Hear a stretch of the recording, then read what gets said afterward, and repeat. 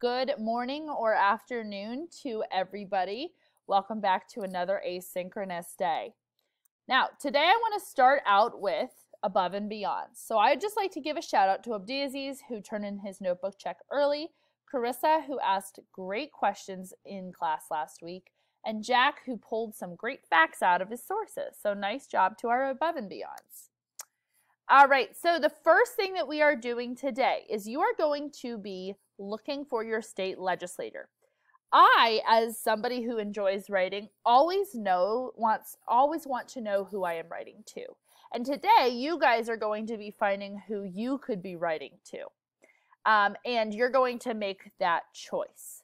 So, I want to show you what this is going to look like.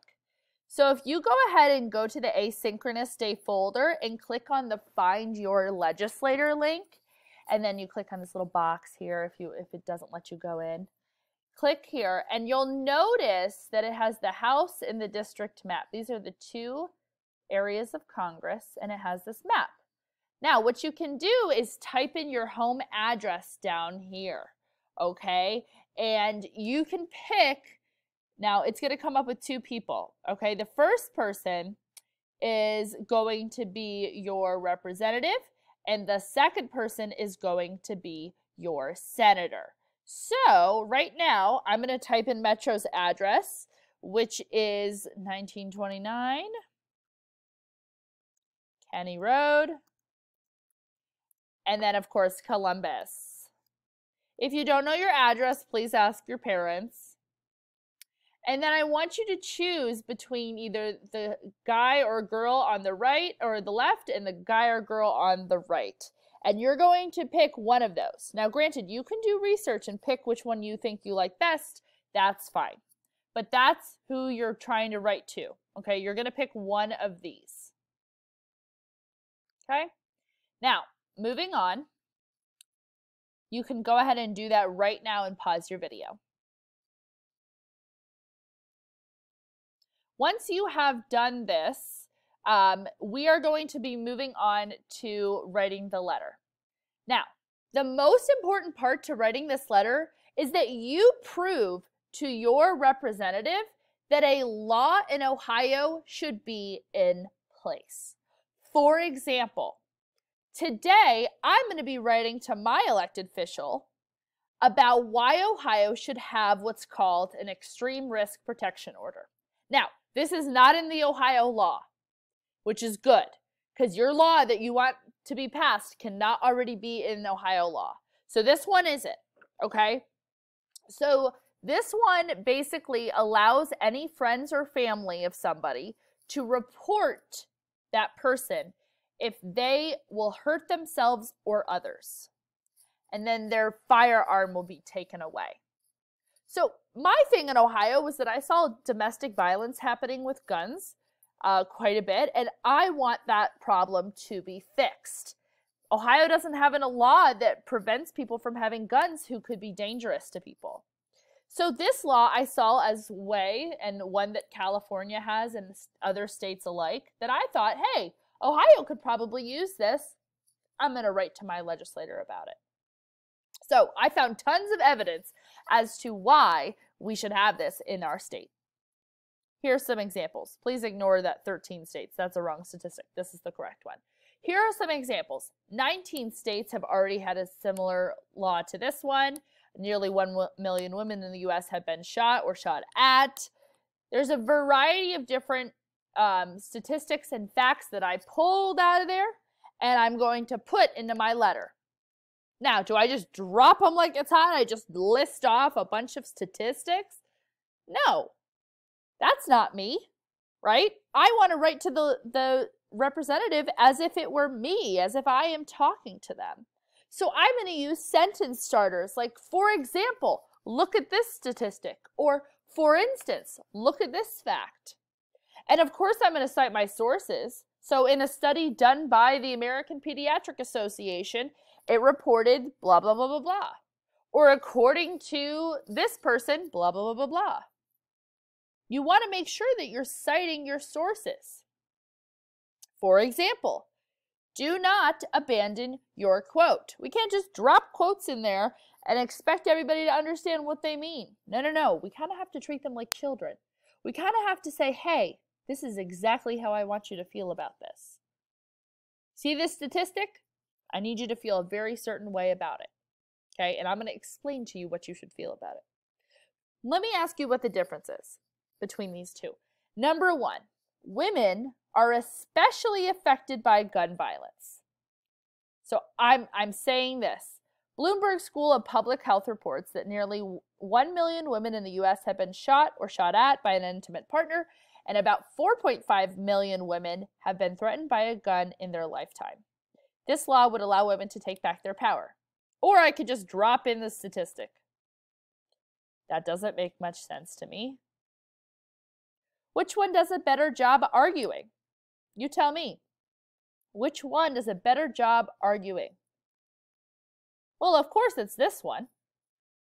Okay? Not only do I introduce the quote here, women are especially affected by gun violence, I also cite where I got it so that my reader knows, hey, this is this is legit, right? This is reliable. And that nearly and then I go into the evidence about women being shot or shot at or threatened. And then at the end, the key part is explaining how it proves that this law should exist. So I say this law should allow women to take this law would allow women to take their back their power. So I explain how this law would help women in the long run. So, uh, on Friday, we talked about the categories of social justice. Right now, I want you to think which category of social justice am I the most passionate about? Remember, this is the one that you are going to be using for your design challenge, so think wisely. Then, find a policy or law that has been passed in a different state that has not been passed here in Ohio that relates directly to your topic. My my category of social justice was gun violence. So I found a law that was in other states that wasn't in our state. Something that you really have to watch out for, guys, is that a lot of laws are federal laws, which means every single person in America has to follow those laws. State laws are different. We're focusing on state laws, not federal laws. If it's passed by US Congress, that's not a law we're looking at. You are writing to state officials who pass state laws. Your goal in this, guys, when you're writing your letter is to say, hey, I see that we're lacking this law in Ohio, and I want you to vote for it. I want you to bring it here. It matters to me, and this is why. That's your goal. That's what you're going to be doing today. For example, here is my policy slash law. My topic was gun violence, and I said uh, Ohio should pass the extreme risk protection order because it was already passed in California. Then, of course, I answer the law. What does it do? Well, here's what it does it prevents people who might harm themselves or others from having firearms temporarily. So, your goal today research different laws and policies about your topic. Make a list of all the laws that you find and then check to see if Ohio has that law. And at the end, you are choosing one law that you would argue needs to be passed in Ohio. A great thing for this, guys, California and New York, I call them the land of laws. If you're looking for a law that has not passed in Ohio, that is passed in a different state, it's most likely passed in California or New York. That's where I found my law. So a lot of great reason, a way to do this is say, uh, bullying laws passed in California or racial justice laws passed in California. And then you cross check and you say, does Ohio have a law that prevents discrimination against this, these people? And if they don't, boom, there's your law. Okay? So that's your goal for today. So go ahead and do that and pause this when you're ready. And then on pause it when you're ready, sorry. All right, the last thing you need to do is fill out the social justice law choice. So you need to answer the following questions. Name the law that you would like to implement in Ohio. What problem could you see this law solving? What exactly will you will the law do for Ohio? And what is the name of the legislator that you will be writing to? Those are the questions you're answering. Now, if you have any questions for me, any, you can't find a law, you want to know if there's this law exists in Ohio, you just you feel like you need help.